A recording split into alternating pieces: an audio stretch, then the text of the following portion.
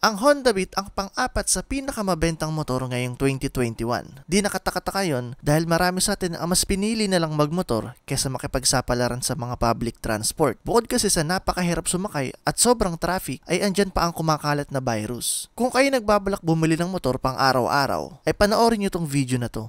Good day mga pare ko. So for today, magre-review tayo ng motor, itong Honda Beat 110. Actually, ito na yung isa sa pinakamatipid na scooter na mabibili nyo ngayon sa market. Kasi itong Beat na to ay fuel injected na siya. So tingnan pa natin kung ano ba yung mga features at saka yung mga specification na andito sa Honda Beat 110 Fi. So ano pang hinihintay natin? Tara, umpisa na natin ang review dito sa motor na to.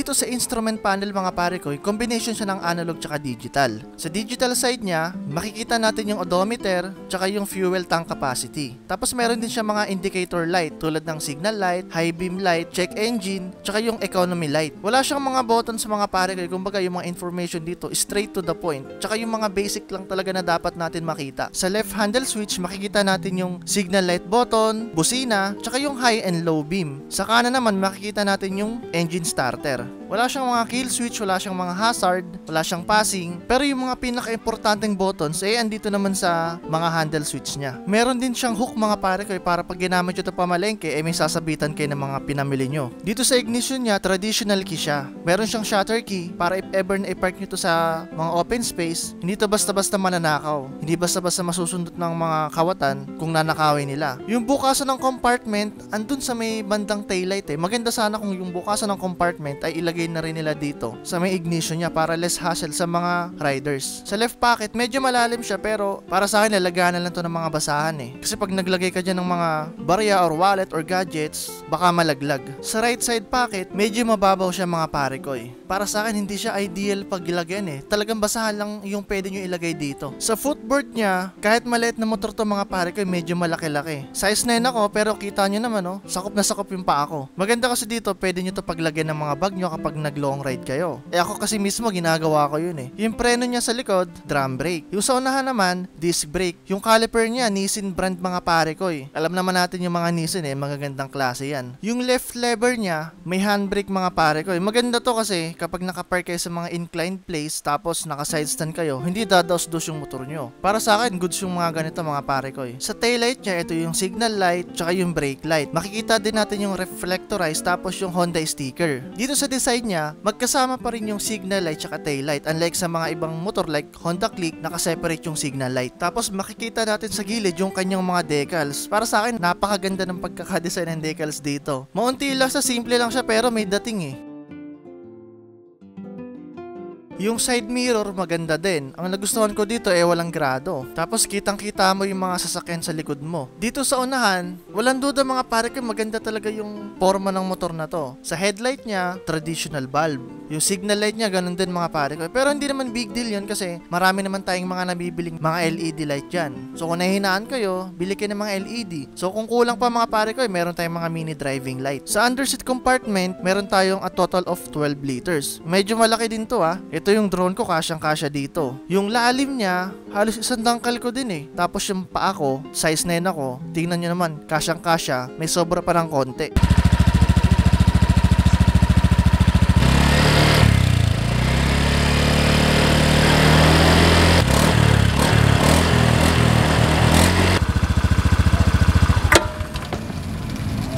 Tapos, Meron din siyang ACG starter. Yung coil niya, yung sa may bandang magneto, siya na rin ang nagsisilbing generator at starter ng motor. Ang effect nun, noiseless na ang starting ng engine natin. Fuel tank capacity natin 4 liters at fuel injected na siya. Tinry ko siya gamitin dito sa amin, tapos yung piga ng throttle ko, yung bahala na eh. Umabot pa ako ng around 46 km per liter. So kung gagamitin nyo siya ng suabe, mas titipid yung konsumo nyo sa gasolina. Pwede pa pumalo mga 50 kpl. So ito, medyo nagutom kami. Kakain muna kami. Ayun, bumili kami McDo. Yung McDo kasi andito lang. Kain muna kami. Ito yung kasama ko. Ay, shoutout sa mga tropa ko sa Maria dyan ha. Yon. Tigil-tigil na kayo. Medyo nakakagutom din mag-shoot eh. Talaga lang. Mamaya, try natin acceleration test naman. Sa engine niya, meron tayong 4-stroke single overhead cam, air-cooled, at meron siyang enhanced smart power and a total of 108cc. Round up natin on 110cc. Kung speed ng pag-uusapan mga pare ko eh, meron din siyang ibubuga eh. 70 kilos ako at ito yung speed niya.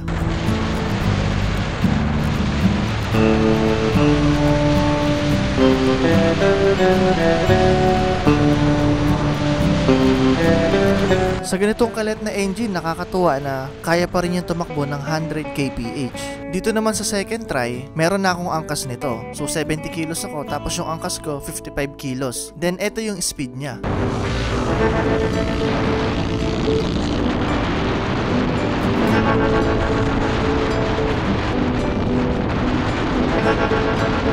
Nakakatuwa lang na kahit sobrang bigat namin, eh nakatakbo pa rin siya ng 90 plus. So kung mas magaan kayo, mas mataas yung magiging takbo nyo. Pero siyempre mga pare ko, hindi ko naman kayo nihikayat na gawin nyo ito sa public road. Kumbaga dito, binibigyan ko lang kayo ng idea kung gaano kalakas yung engine nito. And take note mga pare ko, eh, madaling araw ko po sinut itong video na to para make sure na konti lang talaga yung mga nagdadaan ng mga motorista.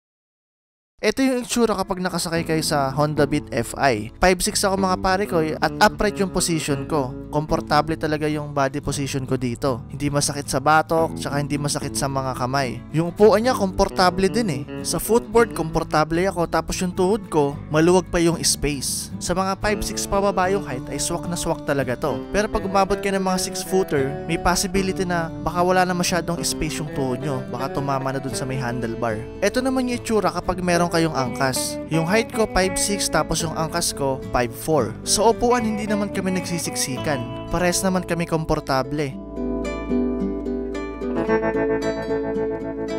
Sa seat height meron tong 740mm. Sa 5'6 ang height, flat-footed talaga dito mga pare ko. eh. So sa mga height ko, hindi to problema isingit sa traffic, madaling imaneobra. 5'5, 5'4, kaya pa eh, abot na abot pa eh. Kahit nga hanggang 5'3 eh. Medyo titingkad nga lang kayo ng konti. Kaya ang ganda nitong Honda Beat kasi napaka user friendly. Tsaka swak na swak sa mga average Filipino height.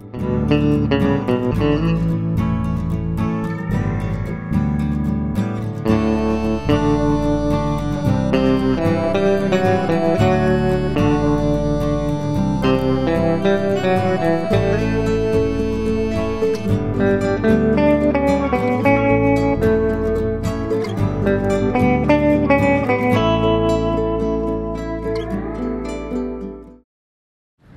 mga pare ko, test ride naman tayo nitong Honda Beat. So, una natin, riding position. Sitting position. Ako, komportable ako dito. Tapos, upright yung position ko. Sarap nga gamitin eh, oh. Since maliit lang yung engine nito mga pare ko, eh, napakapino ng andar. Yun ang mga advantage ng mga low displacement CC eh. Napaka smooth ng andar. Parang wala nga akong masyadong nararamdaman na vibration eh. Ito nakaka-enjoy talaga gamitin tong scooter na to. Lalo sa mga ganitong city drive lang ito, mga traffic. Tapos yung power niya mga pare ko, ang lakas. Hindi ko nga in-expect na ganito pala kalakas yung arangkada nito eh. Yun no, may arangkada talaga siya eh. Kumbaga may bunot. Turning radius ko, kanan. Kaliwa, malaki din. Maganda dito kapag ganitong kabilis lang yung takbo nyo. Since mababa yung seat height niya, hindi ako nahirapan mag-balance kasi pwede ko itukod yung pa ako and flat-footed ako. Masasabi ko mga para kay itong scooter na to ideal talaga sa mga ganitong environment tulad nito mga singe, traffic tapos ma- may bunot siya eh tingnan nyo ha, overtake ako hindi kayo yung parang mabibitin kayo sa overtake dito hindi eh pag overtake kayo bibigyan, ni- ibibigay niya sa inyo yung power talaga oh Nasa low RPM yung bunot niya. Yung handling niya napakalambot iliko ng manabela. Tapos parang wala akong nararamdaman na ano, yung parang may nananangay. Wala akong ganong feeling. Ito talaga yung nakaka-enjoy sa motor na to eh. Kahit ang liit, ang lakas talaga ng bunot oh. Alam mo, overtake. Oh, basic eh. Pero napansin ko lang dito, from 0 to 40 kph, malakas yung bunot niya. Pero kapag lumagpas na kayo ng ano, 40, normal na lang yung acceleration niya. Pero ito, ayan, nasa 40 na tayo. Pag gaganon ko, may power pa, pero bawas na. Tapos pag lumagpas ka na ng 60, normal na lang yung acceleration niya. Sa paahan ko, komportable kasi ang laki ng footboard nito eh. Syempre kapag ganitong scooter, napakadami nating pwedeng ilagay dito. Halimbawa na lang mga pare ko, nag long ride tayo. Meron siyang 12 liters dun sa underseat compartment. Tapos pwede pa kayo maglagay ng bag dito sa footboard. Sa brake naman tayo, malakas yung brake niya sa unahan. Knowing na single piston caliper lang to mga pare ko eh. Sa likod, hindi siya ganong kalakas. Kasi drum brake lang naman tong likod eh. Kumbaga, ando lang tayo sa normal side. Dito kasi sa drum brake, medyo delay yung kapit niya eh. Pag namreno ka, ayun no, hindi agad siya yung tipong pagpreno mo, mapapadaos-dos ka. Dito hindi. Ayun no, parang kakapit muna siya bago siya huminto.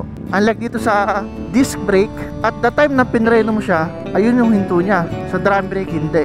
Ang take note mga pare ko ya, sa pakiramdam ko, napakalakas ng preno sa unahan nito. So sa mga bago pa lang po magdadrive ng Honda Beat, kailangan nyo muna i-familiarize eh. Lalo yung mga baguhan pa lang talaga nagmumotor kapag bumili kayo ng Honda Beat, hindi lang motor po yung binibreak in.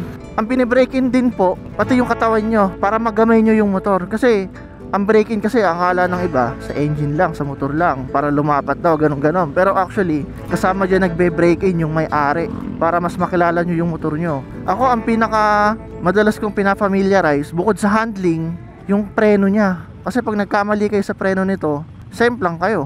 Nakakatuwa lang kasi yung preno niya di ba? Single piston caliper. Kasi yung preno nito mga pare ko eh, Nissin kaya ang lakas ng kapit eh Tignan mo, singit-singit tayo. Basic lang eh. Tapos overtake.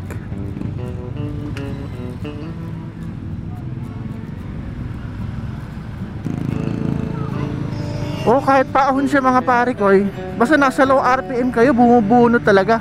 Ito yung busina niya mga pare ko, pakinggan nyo. Sakto lang, normal side lang tayo.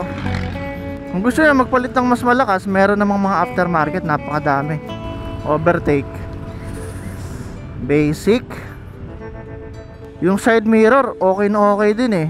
Yun nga lang kung titingnan nyo yung ano bar end ko dito mas lagpas siya dito sa handlebar kaya kung gusto niyo na ano mas maganda sana pang singit-singit talaga bibili kayo ng ano short stem na side mirror. Pero ito mga pare okay na okay eh. Kung ako lang hindi ko na to papalitan. Kung sisingit kayo ingat na lang talaga kasi yung viewing angle niya ang laki tapos walang grado. Shoutout sa Honda Philippines sa pagpapahiram ng unit na to, Honda Beat. Halos isang buwan din sa akin to mga pare ko eh. Kumbaga, nagamit ko talaga to ng todo eh. Yung mga sasabihin ko dito, yung mga sinasabi ko dito, talagang personal experience ko dito sa motor ko. Traffic, singit-singit lang tayo mga pare ko eh. Dito sa Honda Beat mga pare ko, eh, may mga ibang variant to eh. Yung hawak natin ngayon, standard variant to. Merong mga premium, yung may ISS, tsaka combi brake system. Yung, IS, yung ISS, yung idling stop, meron ditong button. Kapag nakahinto kayo ng matagal, automatic mamamatay yung engine nyo. Pagpapaandar nyo, pipigayin nyo lang po yung silinyador, automatic aandar na yung engine. Sa combi brake naman po, yung left lever nyo, konektado pa rin siya sa front brake. Kapag nagpreno kayo sa likod, may sumasama yung unahan ng 30%. So, ganun po yung epekto nun. Kumbaga, pag nagpreno kayo ng unahan, yung unahan lang yung kakapit. Pero kapag nagpreno kayo ng huli, hindi lang po yung huli yung kumakapit, kasama yung unahan. Pero yung unahan mga pare kaya 30% lang. 30% siya para iwas skid. Alam naman natin, ang disc brake, napakakapit niyan. Kaya ginawa nilang 30% lang sa unahan. Kung gusto na mas lumakas pa yung preno sa unahan, eh pigayin nyo na yung right lever nyo para huminto talaga yung unahan. Pero sa akin, yung standard, mas prepare ko yun. Kasi mas mura sa sa premium eh. Pero magandang features pa rin naman yung ISS tsaka yung combi brake. Pero kung ako lang papipiliin, dito na ako sa ano, standard model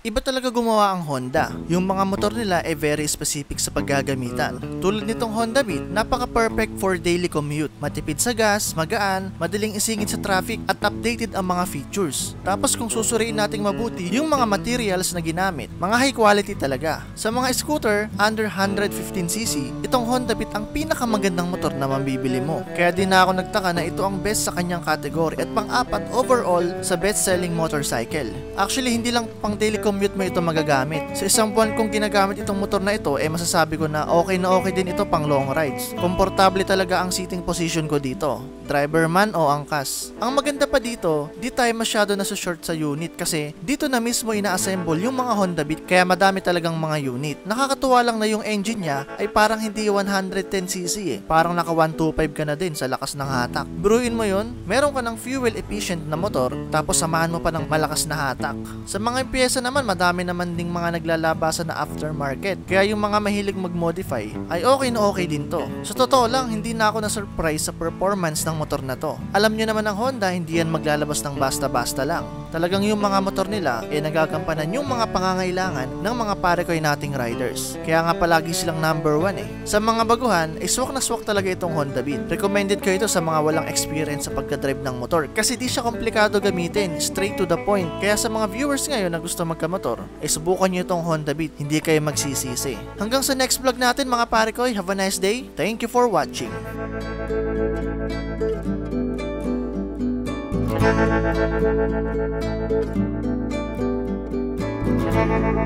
you.